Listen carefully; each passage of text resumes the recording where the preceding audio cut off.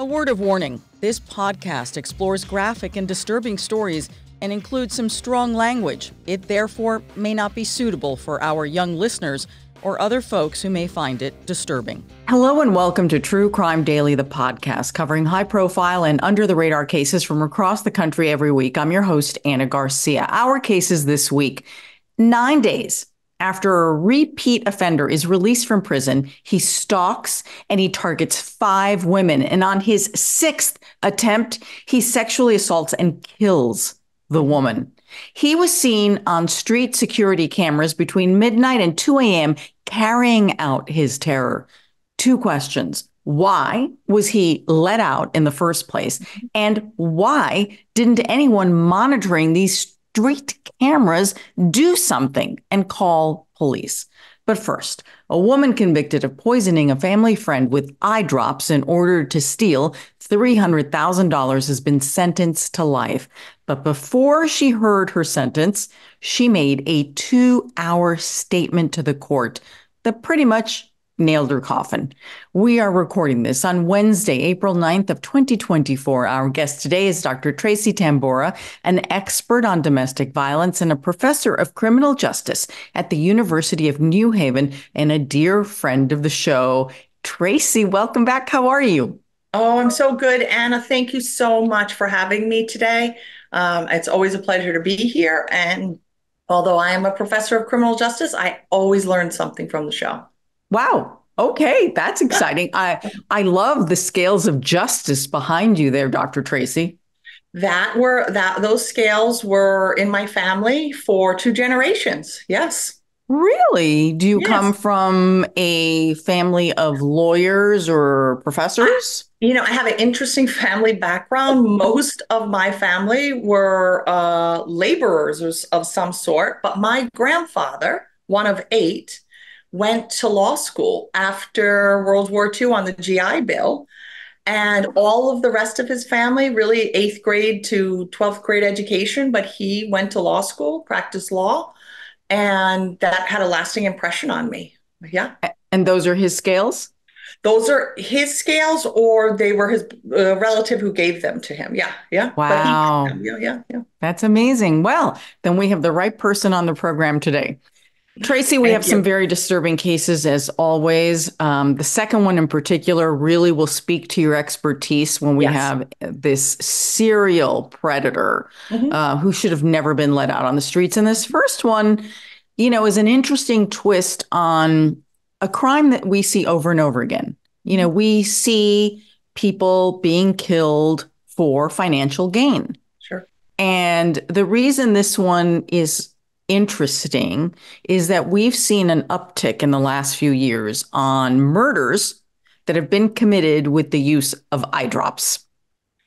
And it's fascinating. Yeah. And this is one of those cases yeah it's this is what i mean when i say i always learn something from the show because as criminologists we study crime on the aggregate like what's happening in the general population.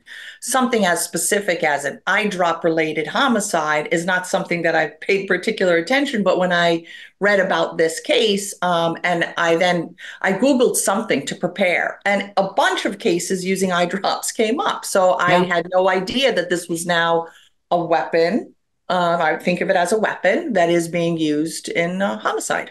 It is a weapon, and here is why it is odorless, it mm-hmm. is tasteless, mm-hmm. and if ingested in large enough quantities, meaning enough of those little bottles, even sure. though these bottles of, of eye drops are tiny, you pour a couple of those or more into a glass of water or yes. anything, uh, pudding, and it can start to slow down the heart right. the lungs, the mm-hmm. brain. Think of like a sedative. Sure. If you do it over a prolonged period of time in smaller doses, you you're ill. Sure. And they can't figure out what's causing your illness. So uh, we have and, seen a rash of them. When you use any type of poison or toxin with somebody who is older or who has pre-existing conditions, it is harder to detect because irregularities with the body are expected for uh, an older person with pre-existing condition. So yeah, um, unfortunately clever, but fortunately not clever enough. Yes, not clever enough. And what we'll see is this incredible exchange mm-hmm. between the defendant, who went on mm-hmm. and on for hours, as right. is her right. Now, at this point, she'd already been convicted, but she's going on and on about how the state is wrong and you're mm-hmm. all wrong and I'm right. And, you know, at this point, when you've been convicted, you're trying to get mercy. And but you know, Ana, doesn't this case remind you of a case that I was previously presented with regarding the cheesecake, the woman who gave her the poisoned cheesecake? And even when uh, her, she gave it to her neighbor to steal her identity theft, uh, the identity theft, right? And and one of the most interesting por- points of that case was not just the facts of the case, but it was also the reaction of the defendant during the trial. This kind of indig- indignation um, and real failure to accept any accountability. So for me, that as the criminologist, that's the interesting piece. When are people accountable for their behavior and when aren't they? So yeah. And in this case, she just doubled down doubled on down. all of her denials and blamed it on everyone else, mm-hmm. everyone else, which you know, look, I think she was going to receive a very long sentence, but she didn't do herself any favors. And then the judge, the judge was in, you know, intolerant of this. And then let's just say they both were a little pissy with each other. and we, we will play some of that. So let's get to our first case out of Milwaukee. And, you know, we have been following this particular case for several years now from the moment of the arrest because it's just been such an interesting case. So the victim here is 62 year old Lynn Hernan, who um, was apparently given a laced water mm-hmm. bottle. So the mm-hmm. water bottle would have had the uh, eye drops in them. Her convicted, the convicted killer here, who's just been sentenced to um, life, yeah. is 40 year old Jesse Kurczewski. And this is a woman with a history, if you might recall, of defrauding people, forging documents. Mm-hmm. And so police say the motive here was really clear. Mm-hmm. It was all about Lynn's money. Sure.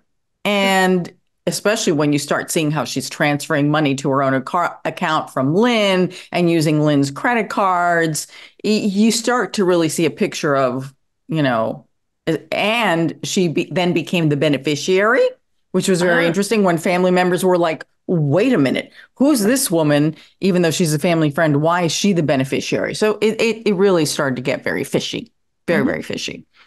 So, um, a little bit of background here on our victim. Lynn was a retired beautician who loved animals and she was very close with her family. Uh, Lynn and Jesse were family friends, and Jesse stepped in as Lynn's primary caretaker as her health was declining. And apparently, Lynn's mother had been caretaker before, and then Lynn took over. So, you know, there's one story that's told, and we see this a lot. So apparently, this was first viewed as either an accident or a suicide, because when police responded to the home, uh, this would have been at 4:55 on October 3rd of 2018. Again, how long we've been covering this. Mm-hmm. Police find Lynn in her recliner. She's unconscious, but you know, she and you know, just she's not well. Mm-hmm. Crushed, med- crushed medication is found on her body along with a plate containing other crushed medication. Mm-hmm. And firefighters pronounced her at the scene dead because they said she hadn't been breathing. And um, it was Jesse who called 911. But before she called 911, she called her mother. Four minutes, a four minute conversation while we have someone here who's not breathing Right. Where's the focus here, Tracy? Where's the focus on the emergency? You know, um, I have been involved in a couple of cases like this. Remember, before I was a, a, a, criminologist, I was a social worker for the first eight years, and I did some work with elder abuse. Mm-hmm. Um, so, uh, cases like this, I had seen. Now, I, I never worked a case that resulted in death. They were, uh, fortunately, the victim was still alive. But one of the things I remember being very conscious of is that the caretaker feels this um, very dichotomous, very kind of dual role. First of all, they feel as though the fa- well, I, have seen this that, that the family isn't actually as present um, as they should be, and they're, therefore they are laden with all of the burden of, of the caretaking, which is odd because you were hired as the caretaker. Of course, you are responsible for this. But the thing that complicates it in the cases that I personally witnessed was um, the fact that the skill set of the caretaker is often um, not adequate for the responsibilities that they're going to take on. And therefore, I'm, this is not justification for murder. This is not mm-hmm. justification for abuse. So, and I don't know if this applies in this instance, but um, the idea then that the person feels very burdened and overwhelmed and somehow entitled for the behavior that they exhibit with the individual that they are charged to care for.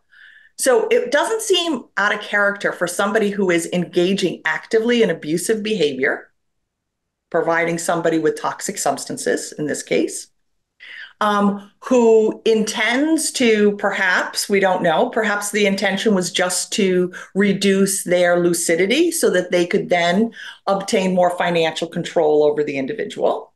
And then it goes bad. And so instead of calling the police in or instead of calling 911 in this instance, they're calling a family member to receive some sort of support to debrief because perhaps she didn't intend to kill her. She just intended to um, incapacitate her to the point where she could take more advantage. I don't know. I'm of course these are cases that are rare. Luckily, we don't have a lot of individuals who are uh, murdered through substances by a caretaker. So we don't have a lot of research studies. For instance, in the next one, I'm going to have more research for you. Mm-hmm, mm-hmm. In this one, I, you know, the, these are individual cases that come up. So I'm speculating, but perhaps she felt overwhelmed by the experience that she was having. She was in a situation, perhaps she was over her head. She, the uh, she engaged in abusive behavior by giving the in, uh, the individual, in this case Lynn, substances, and then she panicked when um, Lynn was non-responsive. Uh, again, this does not excuse her. This does not justify her actions, but this is perhaps explanation for why she called her mother instead of 911 first. Is it possible, you know, um, because uh, Jessie has a history of forging documents and getting um, all sorts of fraudulent loans to sure. collect money, exactly. that that again, it was all part of a pattern. Yeah. And and as you say, she may not have intended to kill her. She may have intended to keep her in this ill state of decline until right. she finally did die. Uh, I think I think that that's I think that that's possible. But at the end of the day, you're playing Russian roulette here oh, with someone's life, right? Of course, of course, right. Um, yeah. and, and and as you say, the facts that we can establish is that Jesse has a history of being a con artist, con mm-hmm. con artist. She has a history of taking advantage of financial situations to her benefit, including her own mother, including, including her ripping right. off her own mother. Exactly. So, so um, yeah. So again, I don't know if she intended to kill her or not. A reasonable person should assume that when you are playing with substances, um, you one of the potential outcomes is death. Mm-hmm. Well, clearly her moral compass was like hadn't been working in a long time and in pointing in the time. wrong direction. Right. Exactly. So Jesse said that Lynn this is what she tells the police. She tells, you know what? She was becoming very depressed. She was mm-hmm. becoming despondent over the fact that her health was failing. Well, it could have been failing because someone was poisoning her, in addition to what else may have been going on in her world. And right. she said that Lynn was refusing, right, to take her medication properly and instead was mm-hmm. abusing drugs like Xanax. Right. So, um, Jessie also told police that Lynn was sick of the medical community not having answers. Well, if you're not looking for tetrahydrozoline poisoning, exactly, you might you not, not find. It's not yeah. like number one on the list as the doctor's going through the checklist of what needs to be right. checked. Right. Um, she also said that she was indeed wanting to take her life, yet everyone else in her in her life, in Lynn's life, said Lynn didn't want to take her life. She was not suicidal. Only one person said this the person who called 911, the person who was there the mm-hmm. person who first called her mother for four minutes before 911. Correct. So, um, after Lynn's death, a few other weird things happened, which made the investigation go in a slightly different direction from the, oh, she probably just, you know, died on her own accidentally. No. Um, here's what's really weird Jessie and her mom continued to use things that belonged to Lynn. They started selling off her property. Like, who are they to be selling her property, driving around in the Jeep that belonged to mm-hmm. Lynn? All of this was intended for Lynn's nephew. So uh, now the family's like, wait a minute, who are these two? Right. So, um, then things completely took another turn when mm-hmm. they got to the part of the will and they realized that the beneficiary of the will was supposed to be a relative. And all of a sudden, the beneficiary of the will is Jesse. Sure. Where did she come from? Right. And that really does change the investigation because the entire state was left to Jesse, and that just did not seem right to the family and investigators. So then the medical examiner c- conducted an autopsy and they determined that the woman died of a fatal dose of tetrahydrozoline, and that is the main ingredient in eye drops. As we've discussed, it can slow down your entire system mm-hmm. and it can have the effects of either just feeling really sick for a long time or it can slow down your system until you die. Sure. Literally stop breathing. Sure. That this is why I uh, again this is total speculation. I've never interviewed uh, Jessie, but this is why I suspect that she did not intend to kill her because it's in Jessie's favor to keep her alive and keep her sick. She's using all of her um, assets. She is having her bills paid. She, you're right. She, um, she does transfer. Uh, it appears she forges the will, transfers the will to her name, but she's also opening up herself to an investigation when Lynn dies, in that now you you could have an autopsy. I don't know.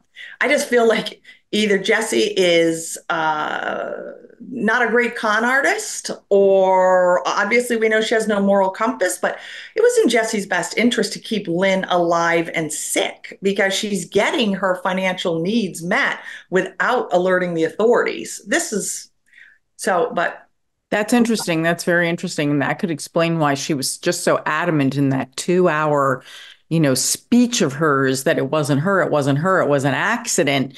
You know, I do think that one can convince themselves of, yes, Lynn is dead and this is indisputable.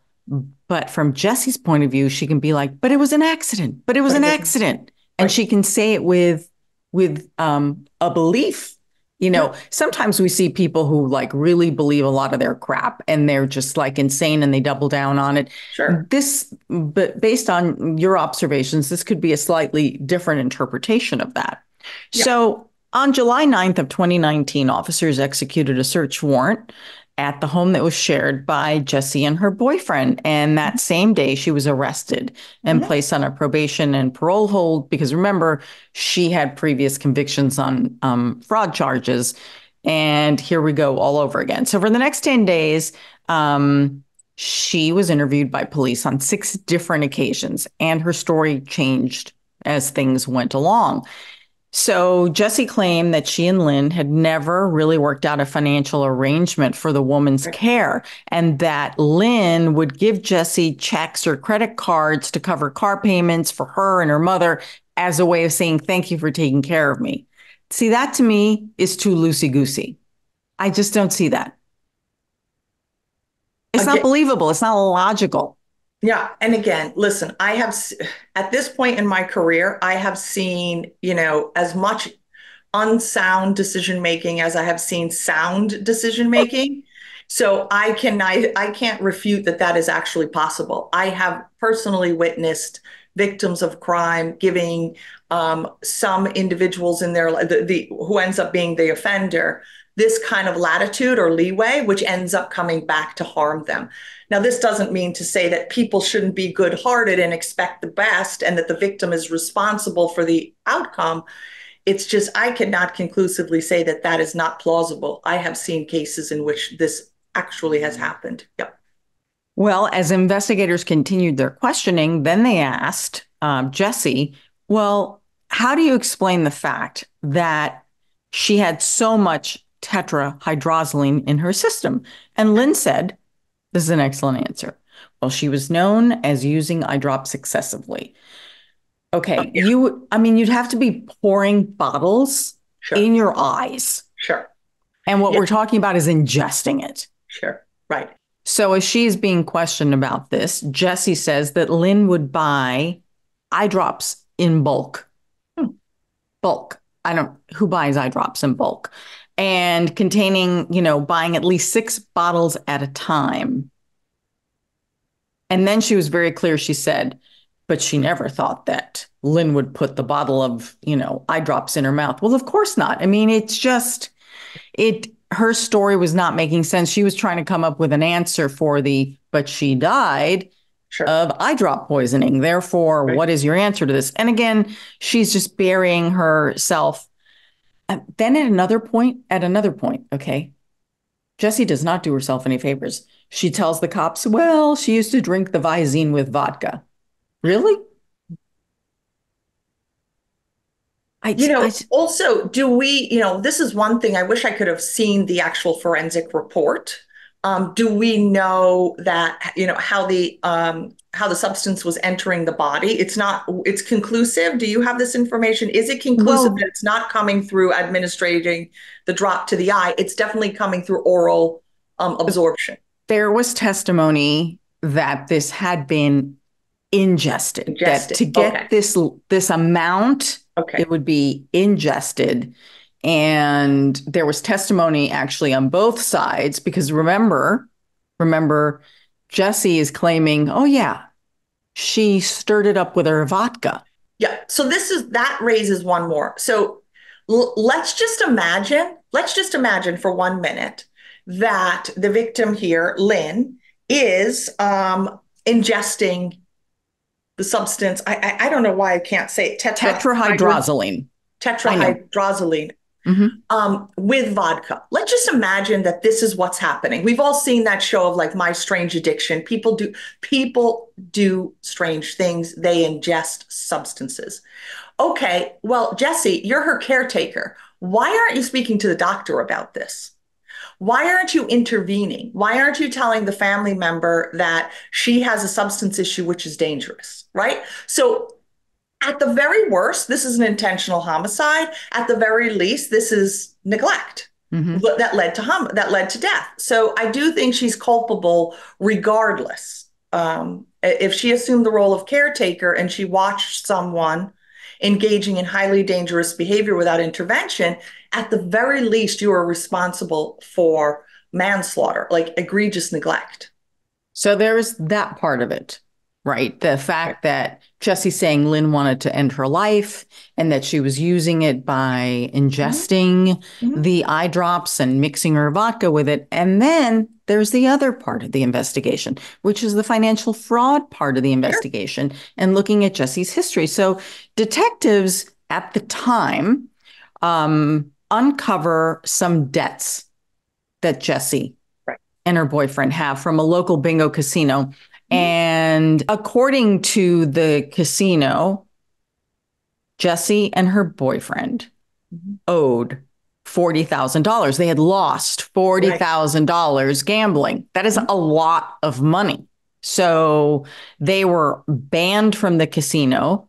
And of course, they had some serious debts. Jesse's mother Jennifer also told authorities that she has been a victim of her own daughter's fraudulent schemes. She mm-hmm. said that Jesse allegedly stole personal checks of her mother's along with her mother's identification and the title to her car. And that this information was all used to obtain loans without the mother's consent. So there is a clear pattern here of, of Jesse taking advantage of everyone in her life. Right.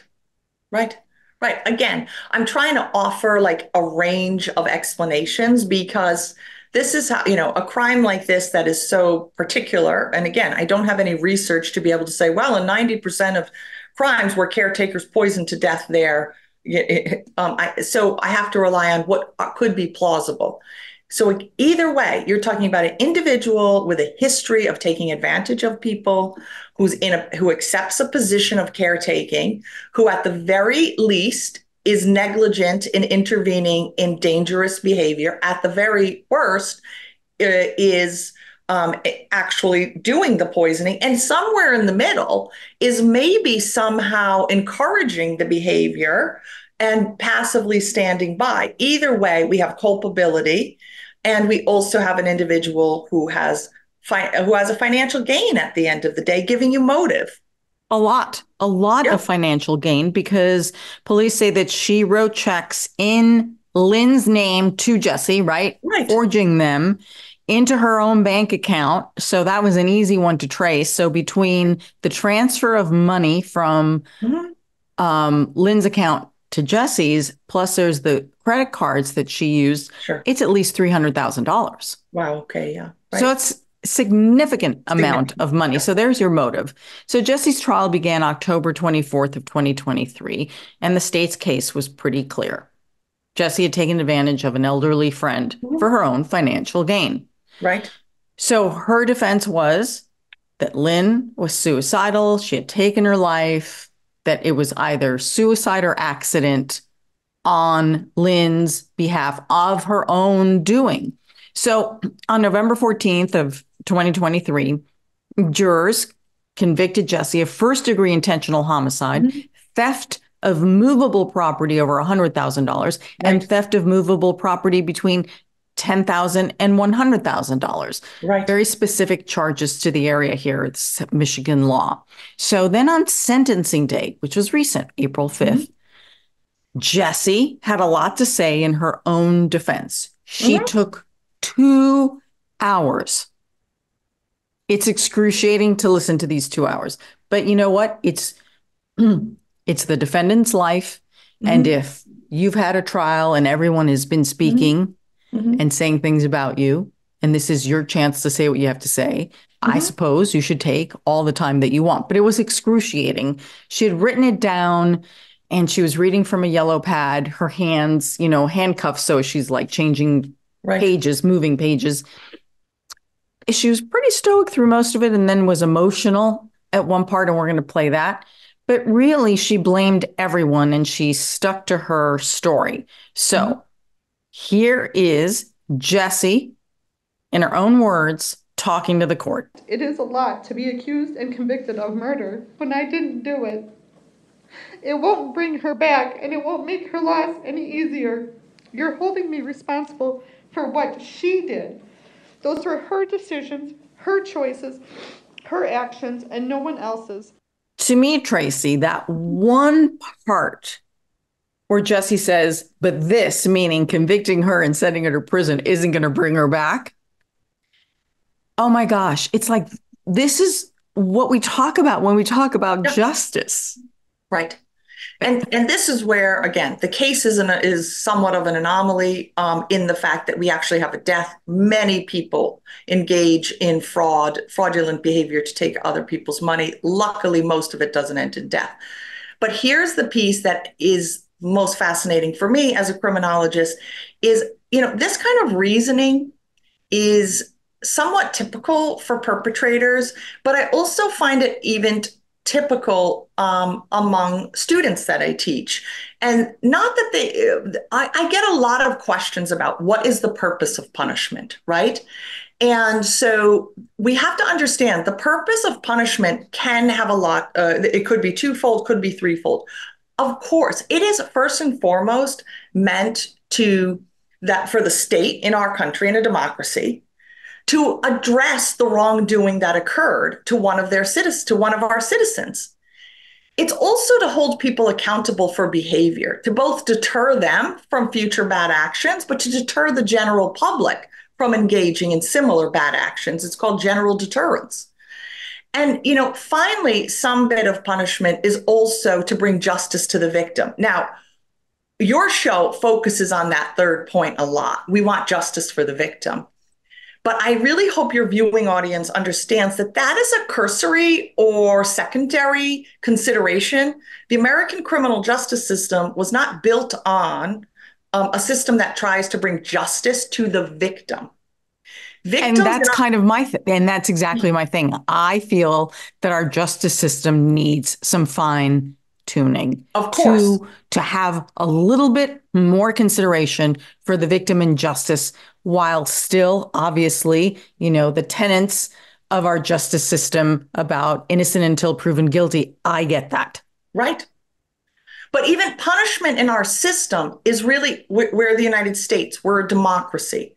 Punishment therefore is focused on um, the offender right and the that's why sometimes people don't like it but the offender has way more rights in a trial than the victim because oh, at the absolutely. day, at the even though i as somebody who works primarily with victims and does research based on victims i understand why this criminal justice system focuses on the offender's rights more because they're going to lose liberty or they're going to lose life in rare instances.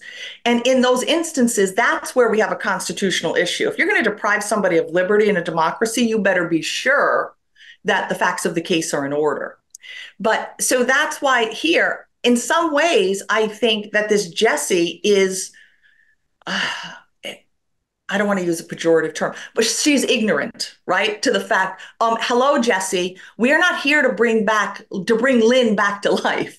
We're hold, here to hold you accountable for an egregious act, both because you are uh, punishment is fitting in this instance for you as an individual, and also to send a social message that this behavior is not tolerated.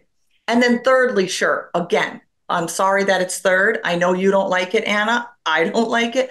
But yeah, and then in some way to bring about some level of justice for the victim here.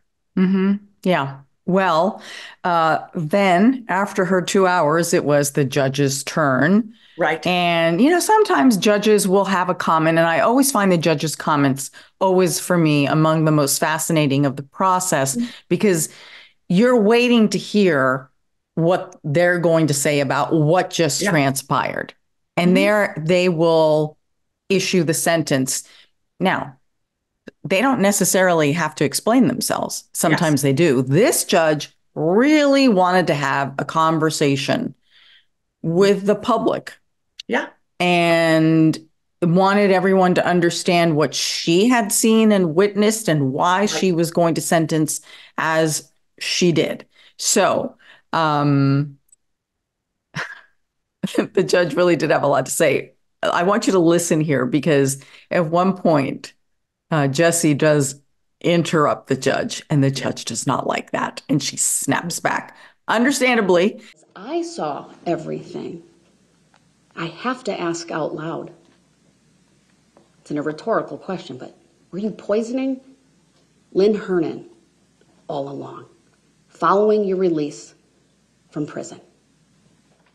No. I'm not asking for an answer. This is my time. So do not interrupt me. She got markedly sicker following your reinsertion in her life on a daily basis, ultimately ending up in the hospital in September of 2018. Unexplained. Couldn't figure out what was going on. But what do we know? She got better.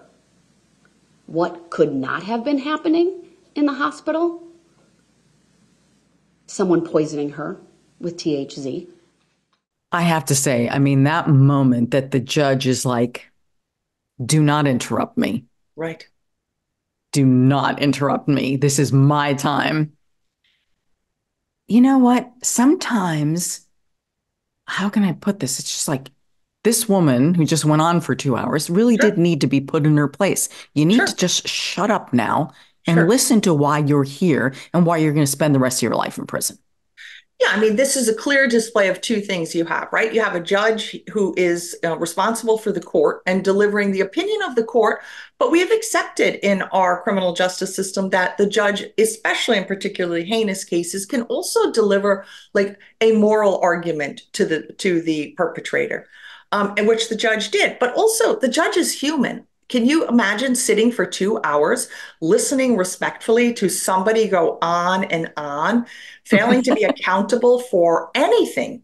Never, I mean, never mind if, if you don't, the, the death was accidental.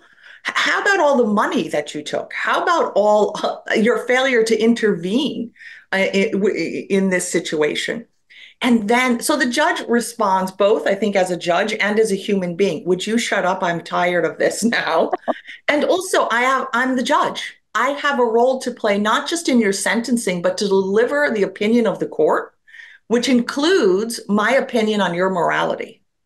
Mm-hmm. Absolutely. Yeah. So, Jessy was sentenced to life in prison with the possibility of parole after 40 years. So, she's going to be in her 80s uh, at best when she is eligible for parole. Mm-hmm. Mm-hmm. Um, the judge also called yeah. her diabolical. Yeah. Which is, of course, one of my favorite words and descriptors for much of what we talk about here. Yeah. But yeah, diabolical. You know, you slowly kill someone. Yeah. Yeah. Yeah. It really is. So, in addition to the jail time, Jessy was ordered to pay $380,000 in restitution and an additional $16,000 for the expenses of the state witnesses at the mm-hmm. trial. Mm-hmm. Um, the likelihood the that she's paying that is uh, less than 1%. It's just um, not happening. So, yeah. But these are often um, kind of ceremonial or um, good faith um, efforts by the court to send a message to the perpetrator and the community that you're going to be responsible in more than one way. You're going to lose your liberty. And you do have, at least in theory, because in practice it's unrealistic, but at least in theory, you do need to pay restitution to the court and to this family. Mm-hmm.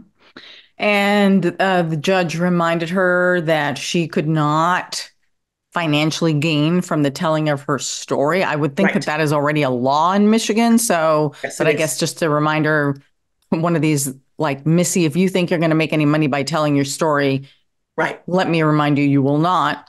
So, oh, just you know, at the when these cases end, when there's and we talk about this, and you know, families use words like some families can say that there's closure. Other families say, you know, it's just, I'm, is it really closure?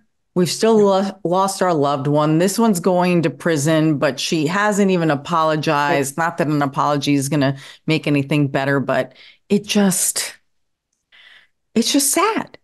It's it just sad. sad. There's no bringing Lynn back. No, there's no bringing Lynn back. And and I hate to um, I think we're wrapping up on this case, but I hate to also bring up one other point.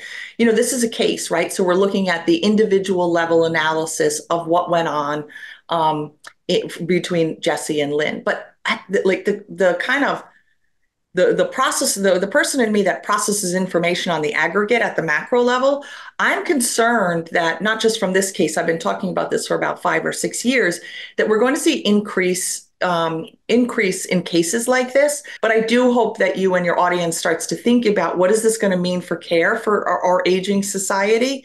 Do we have adequate people?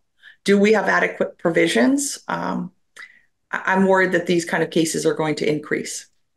I think you're right to worry. Our next case caught my attention because once again, you have a repeat offender mm-hmm. who is clearly a threat to women, all women. Mm-hmm. How is it possible that this man was not flagged as high risk before he was released from prison? Nine days later, just in one night, he was captured on street camera stalking several women. Mm-hmm. Several women. They ran away. But the last victim, number six, say police, did not get away and he killed her. Right.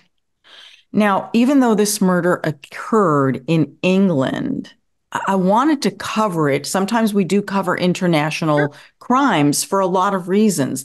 This one I found fascinating because it really shows how we are not the only country and the only justice system right. mm-hmm. that is grappling with, is challenged with what to do with repeat offenders. Right. I believe that there are some people who cannot be rehabilitated and cannot be put outside with people that must be locked up for the rest of their lives. But the laws don't always align with keeping someone in prison for the rest of their lives. Oh, God, until they do something that they finally are mm-hmm. put away for life. But here's the problem in order to reach that level, a life has to be taken. Sure, sure. And, you know, again, one of the things we we we study in criminology is to what extent are people unable to be rehabilitated. It is a small percentage. Fortunately it's a small percentage but they do exist. The problem i don't know if you want me to get into this now or you want to talk a little bit about the case. The the the piece that i honed in on was this classification of medium risk versus high risk. Yes. Do you want to give some more so case? here yeah, yeah. Uh, and tracy's really hit hit it on uh, the nail on the head here because how he was classified as either as medium as opposed to a high risk really had implications for how he would be supervised and how he would be released. But i'm going to make an argument that even as a high risk offender, mm-hmm. he was still going to step out and do exactly what he wanted to do. And we're going to get into that. But I think you're right that that does, that there are so many flaws here. And the reason we're still discussing this case, even though it happened a few years ago, is because the family has pressed the mm-hmm. government and the justice system to be held accountable and investigations are still going on to figure out where the system failed. Well, you know what? Let me tell you something. Save a few bucks here. Let me tell you where you failed. You should have never released the guy. And you don't need to be, you know, a PhD or a research scientist to know that that is where the system first failed. Mm-hmm. And and I'm sorry, you know, but that's the first level. So let's let's talk a little bit about the case and then Tracy you can explain to us the difference in how he was classified. So the victim here is 35 year old Zara Aleena. She had recently graduated from law school. She was working on becoming a lawyer. Mm-hmm. She had recently been admitted to the solicitor's roll, which is kind of our equivalent to the bar. Yep. You know, you get accepted and then you're ready to go. And that mm-hmm. is where she was in her life. The convicted killer here is Jordan McSweeney, had a lengthy criminal background by the time of Zara's murder. He had 28 convictions for 69 crimes dating back to 2006 burglary, vehicle theft, assault on police, battery, assaulting, causing bodily harm. And he had been released from custody nine days before the murder. Mm-hmm. Despite his criminal history, he was classified as a medium risk offender. Okay, Tracy, what would what would have been the big difference here between medium okay. and high risk as far as how he would have been supervised? Well, before I do that, I think I need to explain maybe to your audience what how we even determine risk. Mm-hmm. Okay.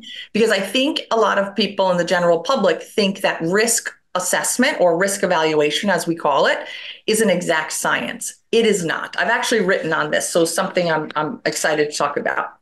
So just let's keep in mind that risk assessment, and, and most of my research comes in risk assessment for domestic violence, not in general violence. That's usually, I'm a criminologist, that's more the realm of psychologists, but I've done, I've, I've worked with psychologists on understanding this process.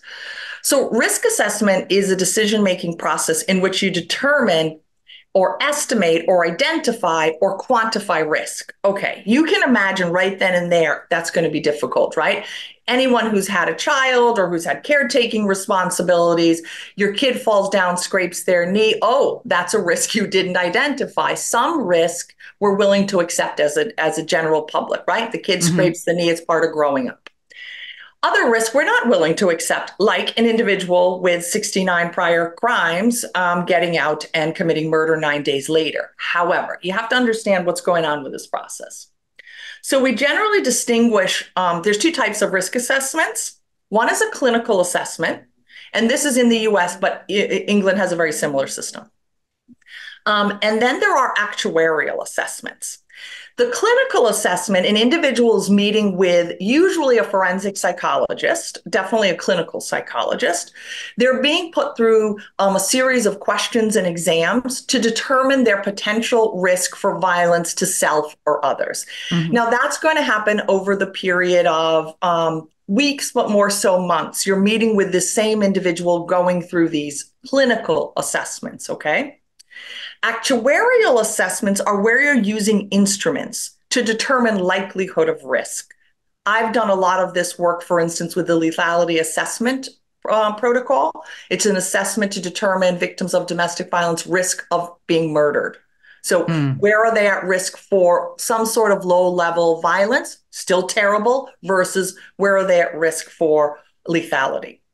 Um, the actuarial evaluations take into consideration data that we have from analyzing previous homicides or um, or previous high levels use of violence of predatory rape for example and we take a look at what factors were present in those cases and then we create an actuarial list oh, for instance, with homicide, you know, is there a gun present in the home? Does the individual have a past history of using violence? Um, has the individual threatened violence to this particular victim or another victim? Once you get enough check marks on this actuarial list, we then deem you as a risk, low, medium, or high. So now that so I think you can kind of see these are not exact sciences. The, no, they're not. You're in right. the clinical assessment, it's does the one person you're interacting with deem you to be a threat? One of the things I came to learn working with psychologists who evaluate violence in general, not just domestic violence, was listen, we're in settings in which everyone's violent. Mm-hmm. And therefore, you're asking us to determine some level of violence. So perhaps this, ind- I'm not saying this happened in the case, but mm-hmm. here's a for instance. Perhaps in this case, this individual's being deemed medium because there's also people being deemed high who have done even more heinous, more egregious things. I'm not saying that happened. Correct but it's a possibility. Second of all, if the individual was deemed medium risk versus high risk because they received an actuarial assessment, they might have had four, but not eight indicators of potential violence. So this is not in any way an exact science. No, and I don't think anyone, you know, we're dealing with human beings and human right. behavior. And this right. is you cannot always measure and predict these things. Um, my argument here, Tracy, is I think it wouldn't have truly mattered that much between medium and high risk based on what I read, because the difference, as I understand it, there would have been had he been deemed high risk, he then would have had to stay in what's called a probation hostel. So some some sure. kind of you know housing that was a little bit more restrictive and then he'd have to adhere to a curfew and wear a you know an ankle monitor or a GPS monitor. Here's where i think that still wouldn't have been enough in this case because what this guy did according to the london police was he never even went to his first probation meeting. He like right. he took off. He right. was done. He was out and he wasn't going to follow the rule. And because of bureaucracy and because it takes time, by the time he doesn't show up and then they're trying to locate him and then they issue something that's the equivalent to an arrest warrant, it's too late too because yeah. Zara is dead. Sure. So my argument on this one is maybe they would have noticed that he wasn't at the, you know, offenders hostel or whatever their hotel sure. is and that he didn't check in. And so maybe they would have been mm-hmm. on the lookout for him a little sooner. But then they claimed they still couldn't find him. Do, do you know what I'm saying? No, no, no. I don't I know this would have prevented it. I hear what you're saying. This individual seems to have predatory violent tendencies.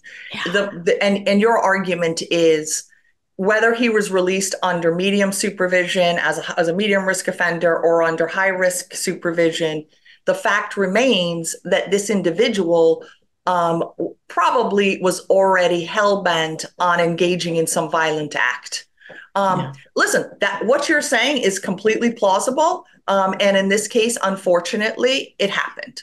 Um, so, you know, for again, for me, looking at it from the system perspective, it's we want to reduce the, the potential risk. Risk assessments are not an exact science yet, but we also, and I'm going to earn no points with your audience here. You know, we're at there, we're in a very interesting place. Keep in mind, the modern criminal justice system is about 100 years old. Mm-hmm. We've been studying human behavior for thousands of years.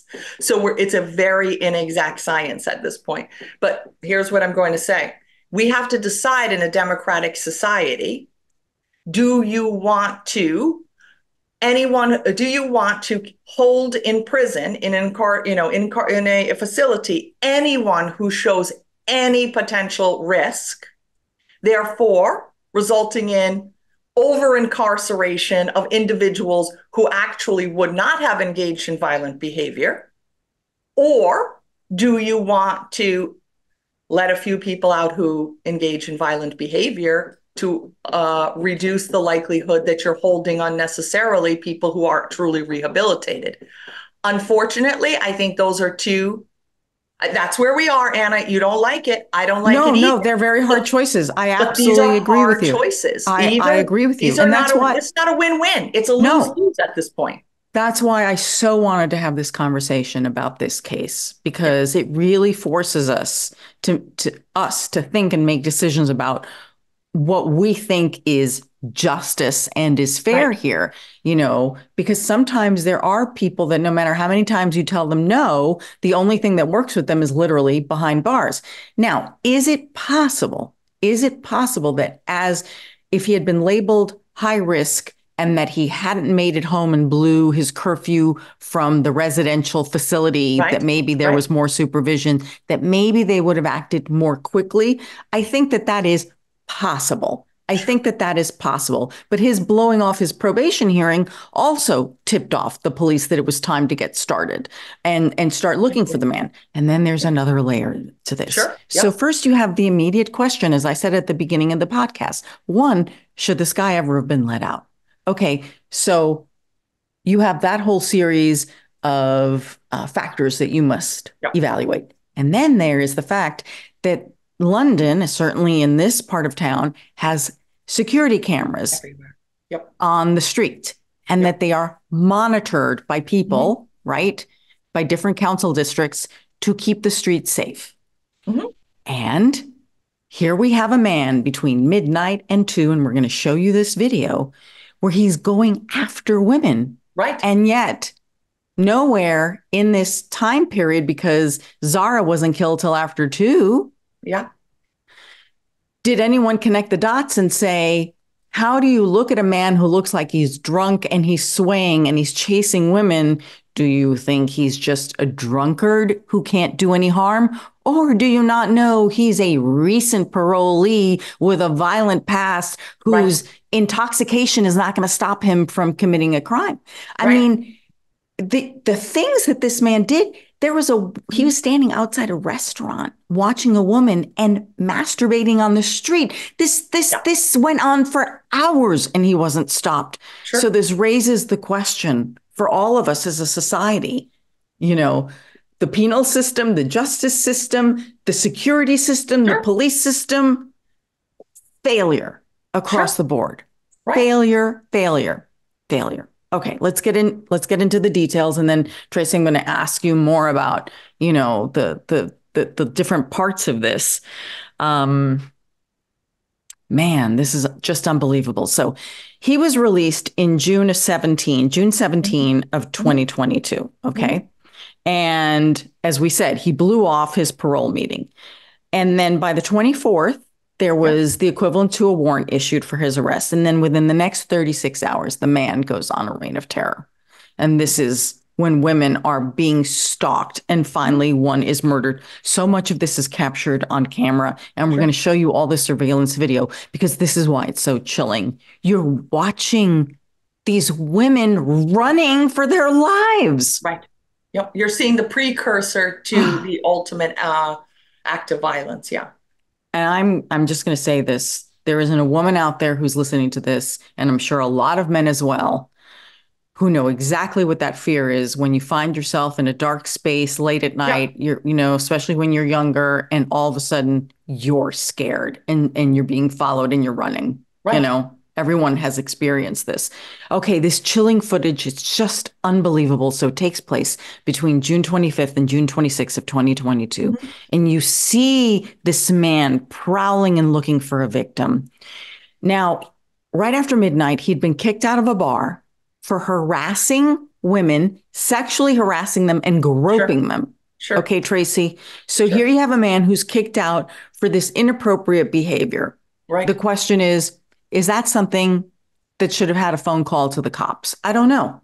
Certainly would have helped. It's right. Hindsight is 2020. Isn't that what they say? I mean, yeah. these are difficult things. The average person is probably looking at him as an annoyance and mm-hmm. not a threat, right? Yes, so, that's key. Yeah, yeah. And so this again, when we look at cases, you know, in the rear view mirror, it's easy to see all of the places that we would have intervened. But the average person is not making these assessments, um, and all, and obviously, the average person does not know who this individual is. They have no idea that Jordan is a convicted felon who has at least a medium risk assessment mm-hmm. applied to him. Yep. Yeah, that's just it. You really, you just really, really stripped it apart there.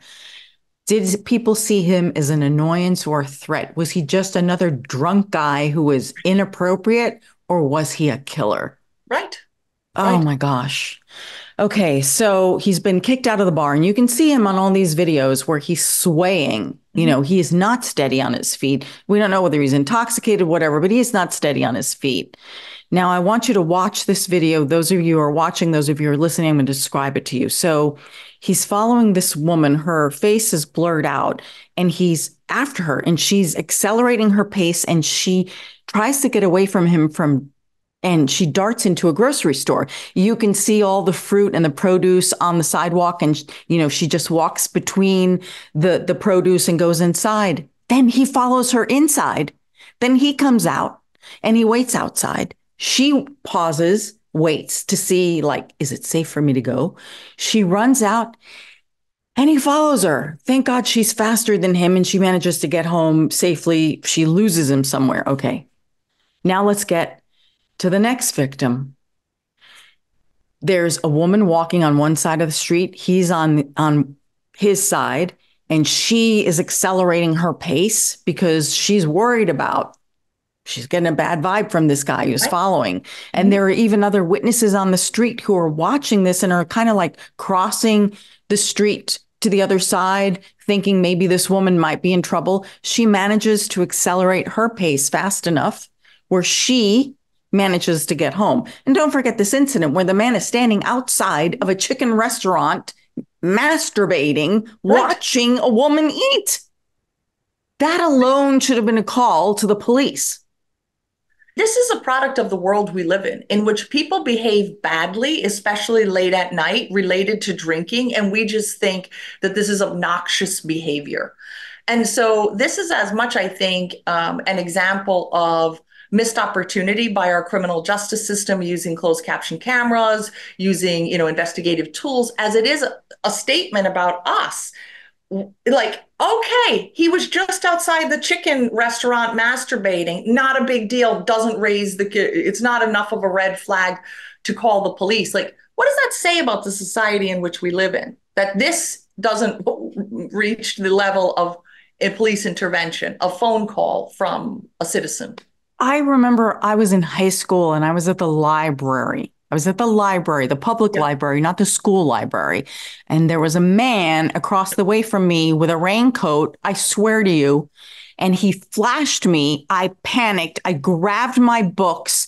I didn't even say anything to the librarian. I ran as fast as I could out right. of there. I was so scared. And I know I should have screamed, but instead I was really scared. And there was a police officer outside, and I ran to the police officer and I said to him what the man had done. And the cop just kind of like, I was what, maybe 15, 16 years old. And he's looking at me, finds the story kind of funny. And I'm like, I think you guys should go to the library. You know, I'm panicked and running for my life. I just want to get home.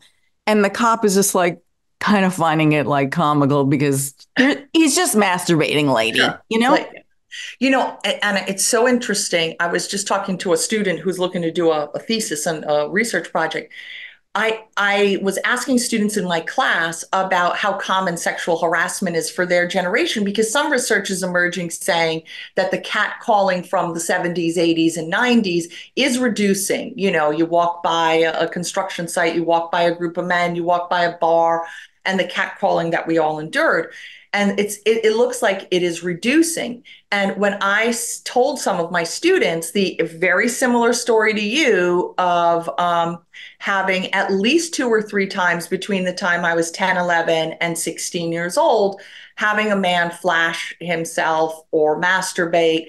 Um, most of my students were like where were you living? And i'm like no this was a pretty typical 70s, 80s, 90s kind of experience. I'd like to know from your viewers who are younger than 30 if this is something that ever happened. I don't know if we can ask them to put in the comments, as the researcher in me is wondering, like, is this reducing among this population that this um, very bizarre, stranger, street level um, sexual harassment, including exposure and masturbation, is this still occurring? Oh, I think so. I think yeah. so. I mean, well, I mean, this case says it, but is it an anomaly? I don't know. Um, I so um, yeah, maybe that's. I know a public library, a public, yeah, and maybe everyone's library. like, well, of course it happened in a public library because everyone's allowed in there. You know what? I and I was downstairs because the children's section was upstairs. I remember that because again, I'm a young adult doing my homework.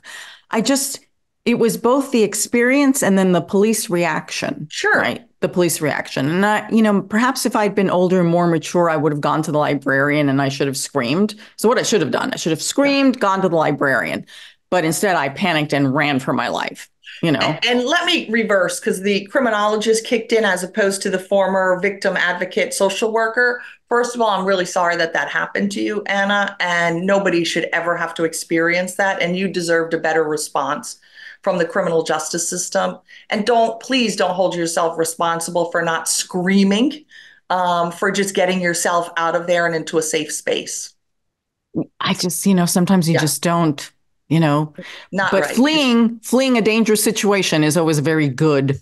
Yeah. Like getting yourself out of a dangerous situation is paramount. Anyway, we've taken a left turn here Sorry, because yeah. of of, the, of this man, but let's let's get back to Jordan McSweeney here. So we're we're following him. You know, uh, CCTV has captured him harassing these two women very clearly, chasing them, and they got away.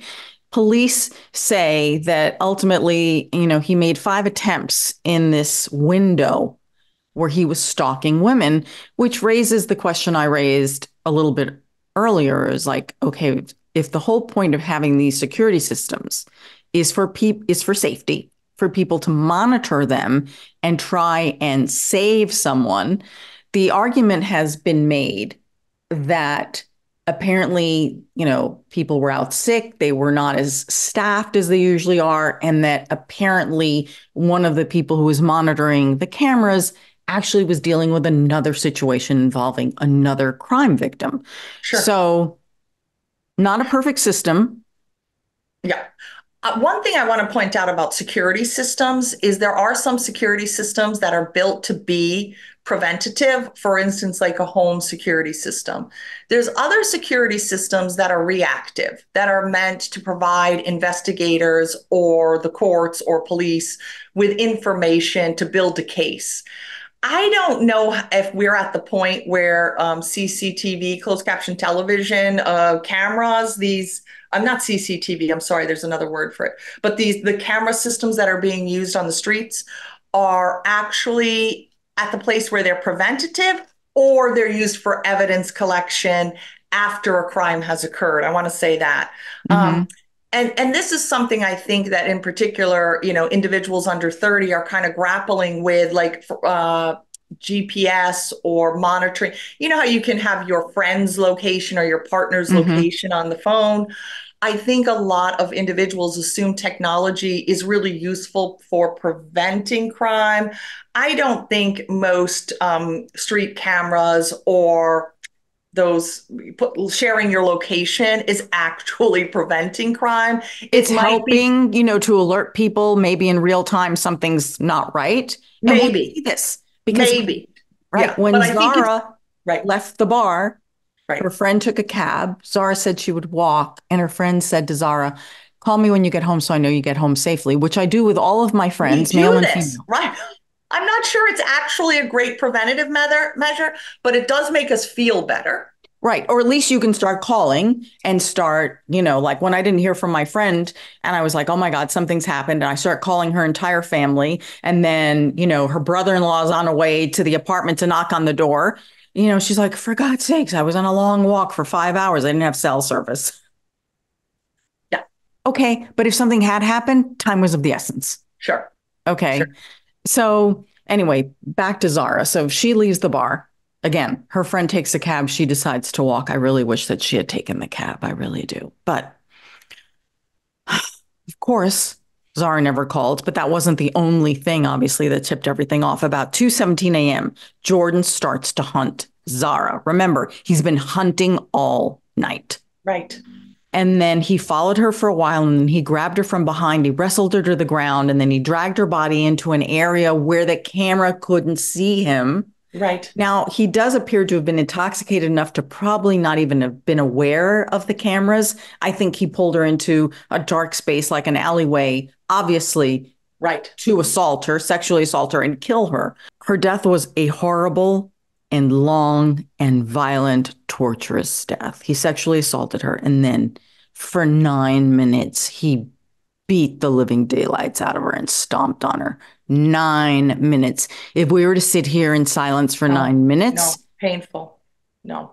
Horrific. Horrific. In fact, she was pummeled, pummeled. She was in such horrible condition that when um, passersby found her, to they say they've been so traumatized by it they can't yeah. even they can't unsee what they have seen no and that's you know that happens a lot i would think tracy with mm-hmm. witnesses mm-hmm. who sure. have nothing to do with anything just happen to be there and now they are forever traumatized by the fact that they just stumbled upon it exactly yeah and of course this is particularly heinous because um, the condition that her body must have been in oh my god so you know, she was str- she was clinging on to life. I mean, she was b- just barely breathing. Uh, paramedics got there. They tried over an hour to save her, and she was transported to the hospital, but she was pronounced dead by the next morning, almost at 10 a.m. the next morning. Mm-hmm. So they tried for hours to revive her. Meanwhile, Jordan has left his DNA behind at the scene, in addition to all the cameras, because remember, the cameras didn't capture the actual assault. Yeah, so right. on a railing that he apparently, they found his fingerprints because he remember he was unsteady that right. he held right. onto this railing to steady himself so he could stomp on her and then um, of course all of this video ed- evidence of him for the last few hours right. then um, they found more video of him arriving at what looks like an amusement park he was staying in a friend's caravan which is what we would call like a trailer or mm-hmm. a mobile home and there's even so there's video of him arriving. Then there's mm-hmm. video of him the next morning taking his clothes off and putting his clothes into the trash can because it was right. evidence. And then by the next day, they had between the videos and between the fingerprints, and obviously the DNA wouldn't have maybe worked as quickly, but his fingerprints would have been in the system. They had they had identified him. And then on June 27th, they arrested him and they found his bloodstained sneakers and jeans in the park where he had tossed them out. get this. I'm sorry. I have no compassion here. Jordan tells officers that he suffers from a split personality disorder. Yeah. So it must have been the other one mm-hmm. who misbehaved the night before. Really? Yeah. yeah. Really? Mm-hmm. Wait a minute.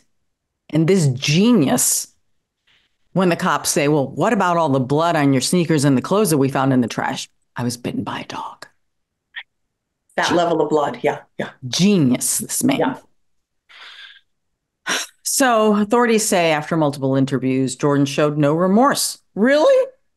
No. I couldn't have predicted that one. No. Of course he's not showing any remorse. Oh my God. They describe it as utter disrespect for the situation. The man doesn't have respect for human life. Give me a break. All of a sudden, you're expecting him to find Jesus? Yeah. Oh, please. I don't even, I don't want to waste my breath on this one. In November of 2022, Jordan pleaded guilty to Zara's murder, Mhm. murder and sexual assault, sentenced to life in prison. Right. Okay.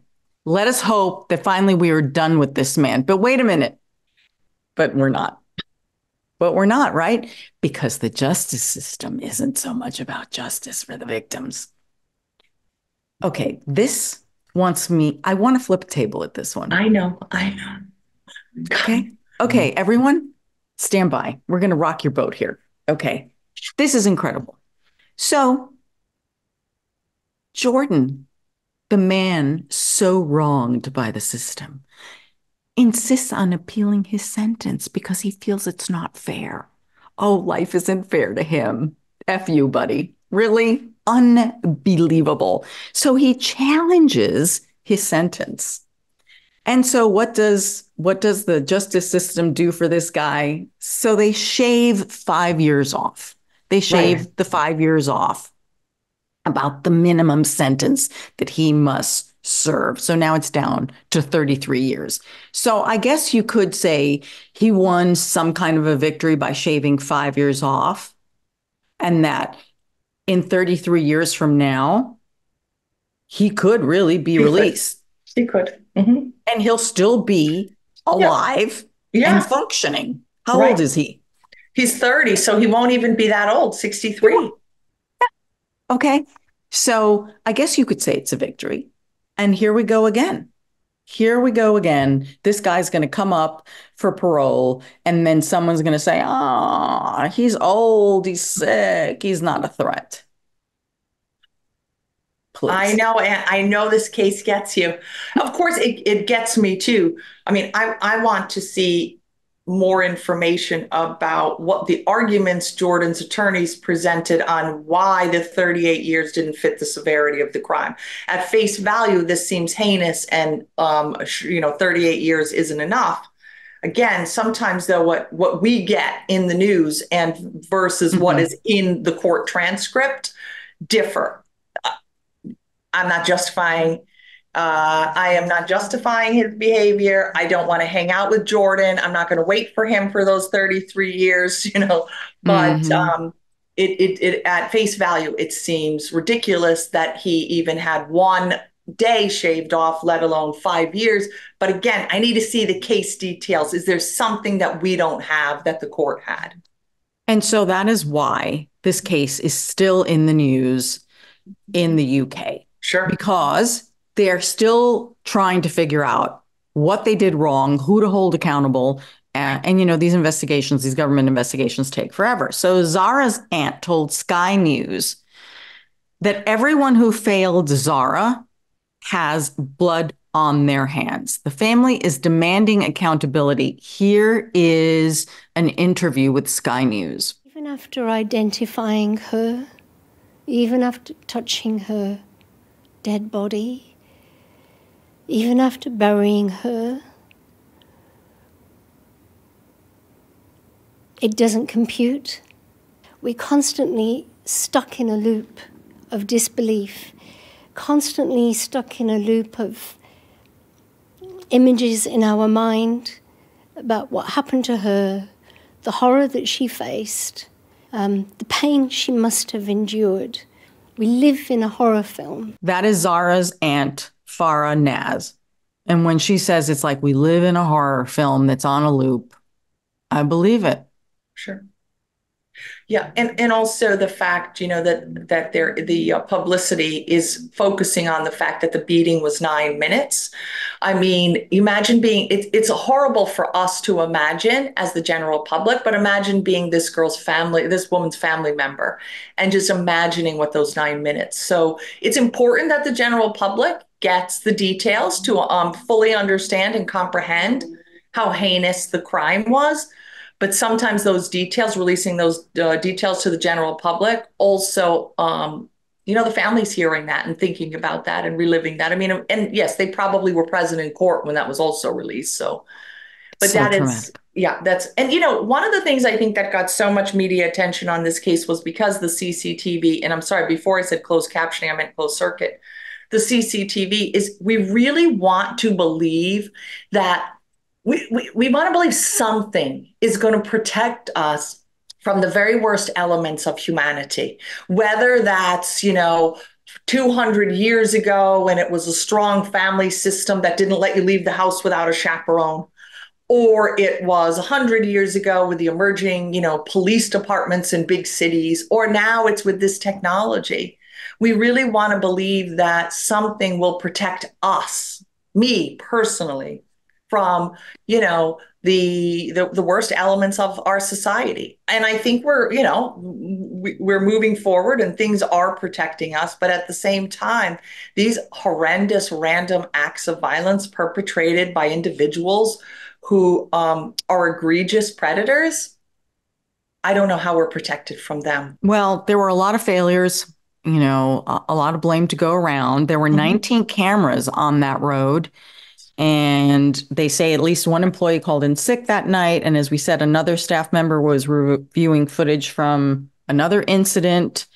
And then when it comes to the following up with, you know, parole and then the probation department, the union and group representing them says, look, y'all privatized part of this and that's part of the problem right. and that you have scaled back on people and that this is what happens when you you know um, send the work out if you will right. so look is this and we talk about privatizing prisons and all this all this other stuff at the end of the day there is a right and there is a wrong and right. you can point in a hundred different directions here and in zara's case it was at every every time the stopgap or the gates were there right they didn't work no. they dropped right they didn't n- nothing in the system worked from the system to when you know, he was on probation right. to the security cameras on the street.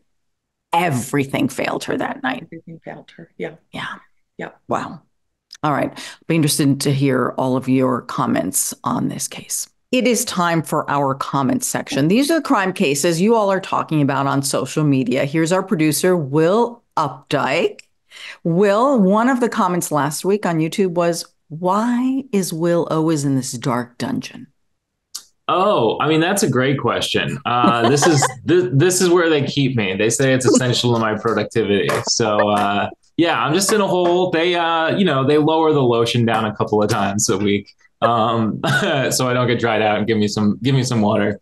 Um, the, no, this like is the Silence of the Lamb reference. Will it? It was. I got yeah. it. I got it. You two um, are just so dark, really.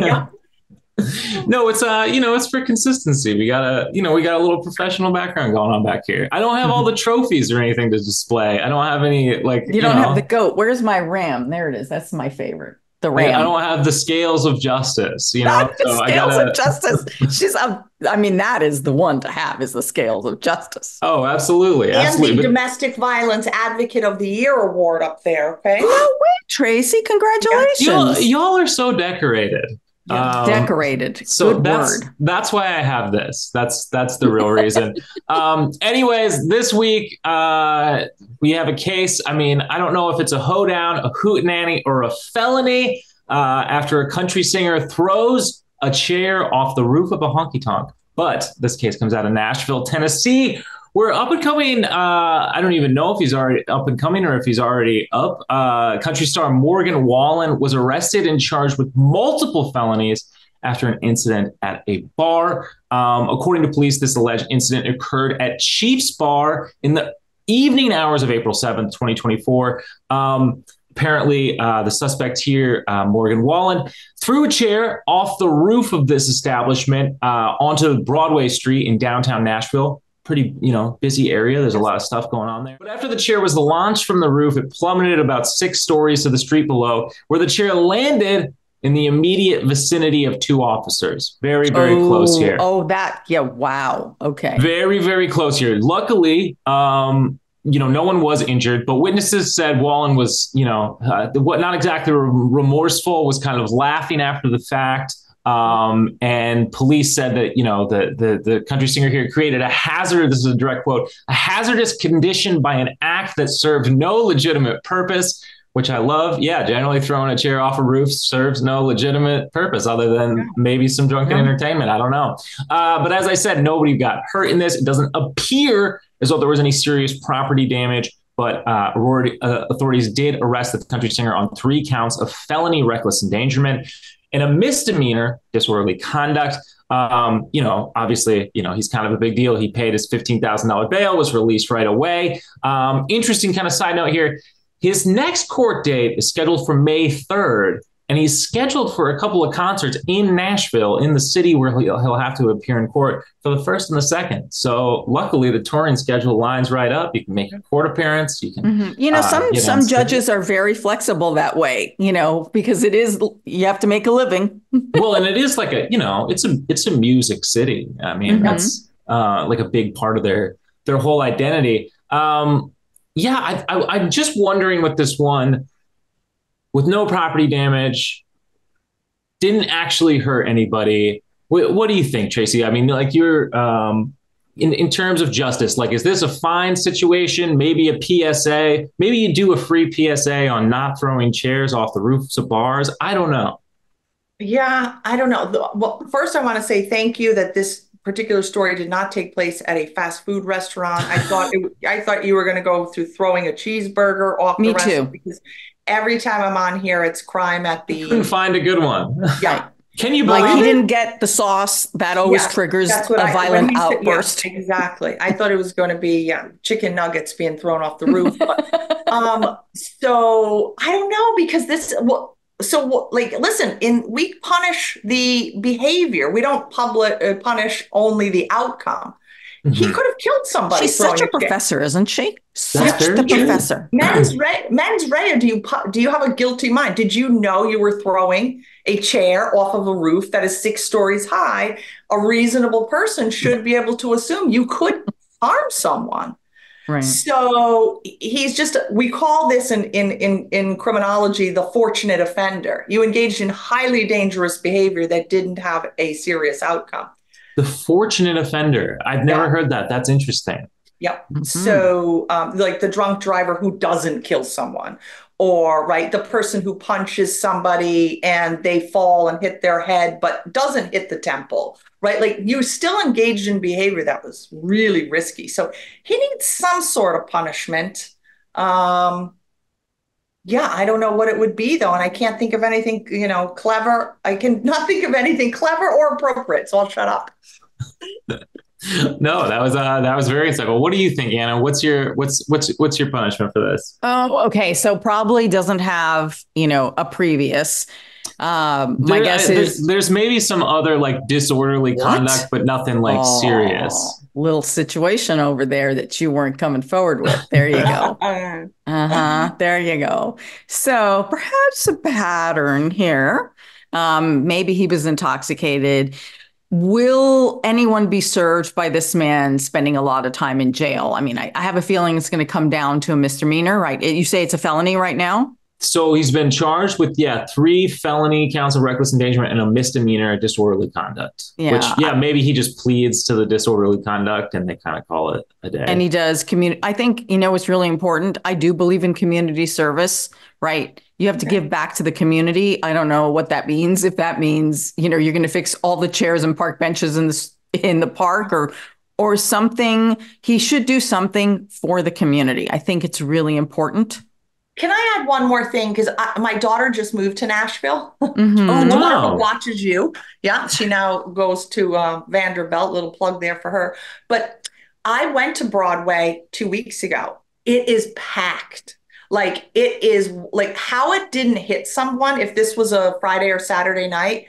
It, it the, the street is closed off to be a pedestrian. There's only the like like horses and carriages and the the beer peddling carts for the bachelorettes like but uh, how it didn't hit someone he is really fortunate and and i feel like somebody who lives there should have known how packed that street is and how dangerous so i just he has a if he has a prior and he's from that area, knows how packed. He should know how dangerous that was. Okay, a little jail time then. All right, Your Honor. Your Honor. Something. I don't know jail, but like, yeah, he needs a big punishment. I don't know if it Right. has to be jail, but it needs to be a. That's that's dangerous behavior. Hmm. Yeah, I, I agree. I agree. Um, we got a lot of comments on this one. Mad A said, It's a law where I live. You can't throw stuff off high places. Great. Love this already. It's called killer litter. We've had cases of people dying of it, which 100% makes sense. Yep. Um, I just love the way that this whole thing was phrased. Killer litter also sounds terrifying. Uh, Yeah, very scary. Yeah. Um, Chrissy M said, gonna have to write a lot of hits in the clink to pay those fines. Who knows? Who knows? Who knows? Mhm. Um, some people like we're kind of talking about some of the like previous uh, conduct, which I, just full disclosure, I'm I'm I I know like a couple of Morgan Wallen songs. I've heard them before. I'm not like super. I'm not familiar at all with the you know his his moral conduct or fiber or anything like that. But uh, Lauren H thought it was pretty immature. They said I remember my first beer. Pretty good. um, Michelle C with a reference to one of his big hits. Uh, they said last night he let the liquor talk, which is one of his his, his big songs. Um, it is very catchy. Autobiographical. Okay. Mhm. It is Yeah. very catchy. Uh, I mean, that one's more about a relationship, sort of rekindling over a bottle of wine. But you know, Sue K uh, with some just great advice to close this one out. They said, "Word to the wise: when you get ready to throw something, make sure you aren't throwing it at a bunch of cops." Which Yes. Very Yes. words to live by. Words Yes. to live by if you want to uh, if you want to stay out of trouble. Uh, but that is going to do it for this week's comment section. Thank you so much to everybody who sent those, and you can do that over on our YouTube uh, community page. We're also on Facebook. We're on X. We're on TikTok. Twitter. We're on TikTok. Uh, anywhere, anywhere you interact with stuff, you can interact with the show. Um, we always love to hear what you think. Uh, and Ana, you know, Yes. she was Ana will definitely respond to your comments. I do. You know, I do like to respond. I don't respond to everyone, but I do respond a lot. I do. I do. Do. I do. I And we we appreciate it seems stupid to me for me to ask you what your thoughts are and your opinions are and then not like acknowledge receipt. I mean, yes. Oh, I mean, that's what I'm saying. You're following through on this. You yeah, know, I like the conversation. The conversation of this podcast lives on beyond everybody's the saying recording. like and everybody's saying like and subscribe. You're starting a dialogue. That's what There you you know. go. We're trying to keep the dialogue going over here. Yes, we are. Uh, anyways, I will see you all next week. I will. I think we're all a little nutty this week because of the eclipse. Yes, I think so Yes. too. Yeah. I think so too. Everything's a little off, but the world didn't end, so that's a good thing. You know, the doomsdayers were wrong once again. It's true. Yeah. One day they will get it right, though. All right, Tracy, where can people find you, follow you, Okay. take your class, learn Yes. about So, everything? yeah. I'm a professor at the University of New Haven in Connecticut. Um, sometimes your viewers send me emails to my work address. That's fine. Mhm. Um, and you can find my professional page there. Also, I did get Twitter because everybody told me I needed to. I don't know how to use it, but I'm trying. Um, Tracy, I think dot Tamborra. I don't know how it works, but if you have Instagram, I'm pretty Inst- sure. what am I saying? I don't know what you're saying. It's not Twitter. Yes, it's Instagram. Thank you. Yes, I'm trying to get there. I'm trying to get hip. Uh, it's it's You are hip. Yeah. Look at you. you. Look at you but I, yeah, I love your comments and I love your viewers and um, yeah, And I they just- love I you. love the You- show. I, I they love, love you. and you do a good job. You really do a good job balancing, you know, making sure the victim's perspective is there and letting your guests also share an um, alternative ideas or perspectives. So good for you.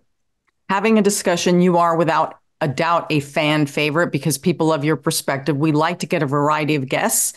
And that way we can have these great dynamic conversations from different points of view because there isn't just one answer or one point of view when it comes to justice here. Nope, So you can find this episode wherever you get your podcast, subscribe to our YouTube channel. You can also subscribe subscribe to our newsletter, which I always say feels so 1990s. Understand our newsletter thing at truecrimedaily.com. uh, until next week, I'm your host, Ana Garcia. This is True Crime Daily, the podcast. And as we always say, don't do crime.